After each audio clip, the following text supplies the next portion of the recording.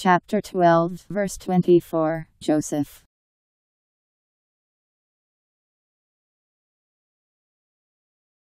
She verily desired him, and he would have desired her if it had not been that he saw the argument of his Lord. Thus it was, that we might ward off from him evil and lewdness. Lo, he was of our chosen slaves.